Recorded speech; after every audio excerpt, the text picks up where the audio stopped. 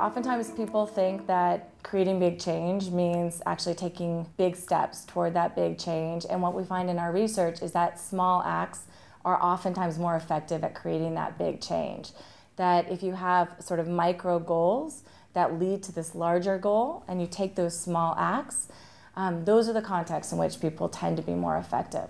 We find there's four design characteristics around you know the phenomenon where small acts create big change. One is when the act is quite small and you have a single focus goal. The second is when the act is unusual or unexpected and grabs people's attention. The third is when the act is highly engaging and it makes people sort of lean in and look.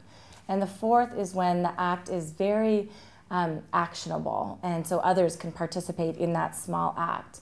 And when you have these four design characteristics going for you, you find that individuals are much more likely um, to both perform small acts that can create big change and also be successful in, in larger goals that they might have.